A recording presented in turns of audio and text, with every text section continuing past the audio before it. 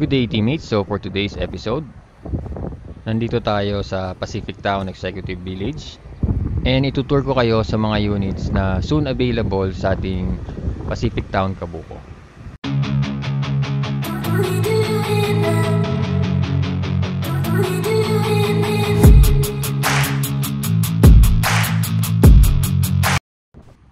Okay, so right now nandito tayo sa Pacific Town Executive Village dito sa Barangay Concho. And parehong-pareho lang namin po yung units para dun sa Pacific Town Kabuko. So yung specs po nito is meron tayong lot area na 52 square meter kung in, 42 kung inner. Ang floor area 42 po and may provision tayo for 2 bedroom tapos 1 toilet and bath. And po upon turnover may kasama na rin pong fence and gate.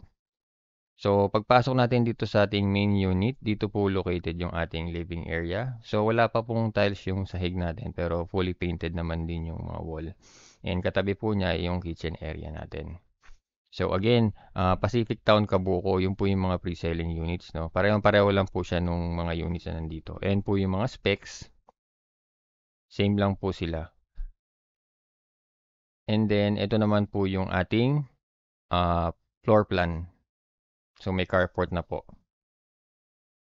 So, ayan, Pacific Town Kabuko. Dito naman po, located yung ating toilet and bath. So, nakatiles po yung wall, painted yung kalahati, may sliding window, may sink, toilet bowl, and syempre yung shower natin. Nakatiles na rin po yung floor natin, pati yung wall. Tapos, PVC po yung ating door. Dito naman, under ng ating staircase is yung door papunta sa ating service area or back area. Ayan po, dyan po located yung ating sink and may storage po tayo sa baba. So, may 2 meters po tayo na space dito.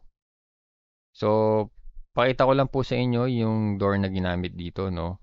Uh, bali, gumamit po dito ng sliding door. Ang advantage nito is hindi siya kakain ng space dito sa loob dahil i-slide lang po natin siya dyan. So, hindi siya magte-take up ng space dito sa loob. And po, sliding window rin yung ginamit. And yung staircase po natin is concrete tapos may wooden handrail po tayo. Tara po, panik tayo sa second floor. Okay, dito po sa second floor, kung mapapansin nyo, wala pa rin pong tiles yung sahig natin. Um, pero painted naman po yung mga wall. May mga abang po para sa outlet. Tapos, ayan po yung para sa switches. May ceiling na rin po. And ito po yung ating sliding window para sa ating bedroom.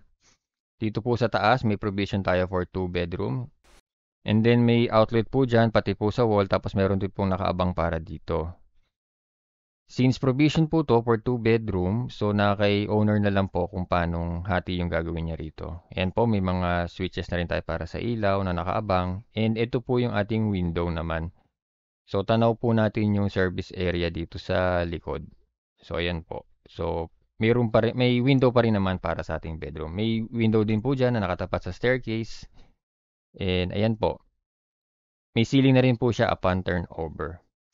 Okay, so ito po yung unit natin dito sa Pacific Town which is pre-selling sa Pacific Town Kabuko. Okay, for details and inquiries, mag-message lang po kayo sa aming Facebook page. Nandiyan po yung link sa description box sa baba and please don't forget to subscribe on our YouTube channel. Again, this is Daddy A saying thank you for watching. See you on the next one and peace out.